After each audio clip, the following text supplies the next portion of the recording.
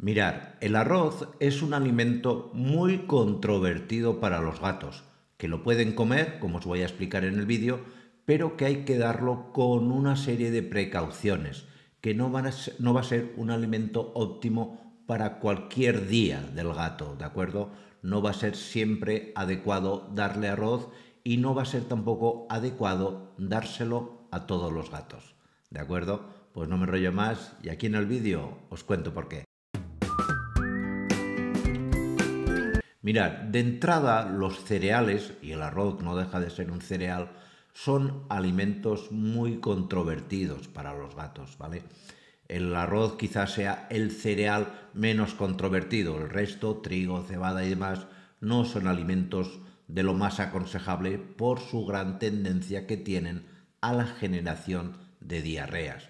Cuando veáis un alimento donde se mete mucho cereal, pues debéis suponer que de entrada es un alimento no de muy buena calidad. Debéis pensar que el gato es un animal carnívoro estricto. Básicamente va a necesitar sobre todo proteína, proteína y grasa de origen animal, ya sea a través de la carne o a través del pescado, como os explicaremos en otros vídeos. Por lo tanto, de entrada, con cuidado. Y además, eh, el arroz al gato, y esto es importante saberlo, no le va a aportar un valor nutricional extra, no va a darle algo que el gato vaya a necesitar. Veréis que haremos recetas, me pondré a cocinar, como ya me habéis visto en otros vídeos, con arroz, pero va a, ser, va a ser siempre en condiciones muy, muy concretas. Por ejemplo, es lógico que en un gato que tenga, por ejemplo, una diarrea, el arroz va a ser la base de la alimentación que le vamos a dar, porque es un alimento muy astringente que provoca estreñimiento y que en ese momento en concreto nos va a venir muy bien darle arroz, de maravilla. Lo ideal es darle pues arroz eh, salvaje, arroz que lleve la arroz integral, porque en la cáscara del arroz es donde más se concentran los nutrientes, los pocos, que el gato va a poder aprovechar.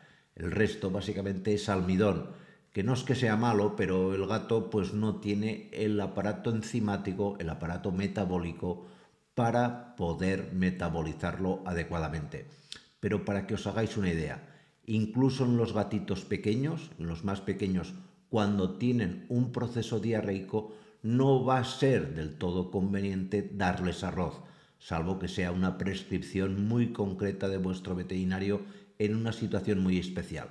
Pero de entrada no va a ser lo ideal, porque el riesgo de generar un estreñimiento puede ser en un gatito pequeño algo pues muy traumático, que no vamos a poder eh, trabajar también como con un gato mayor, con un gato adulto, donde puedes manipular con los dedos, ayudar a vaciar si hay un estreñimiento continuado. En un gatito pequeño no.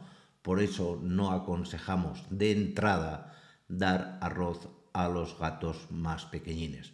En el resto sí se puede dar, ya os digo, no aporta nada en específico y sobre todo arroz integral y concentrado en patologías que pues tengan como consecuencia algún proceso diarreico.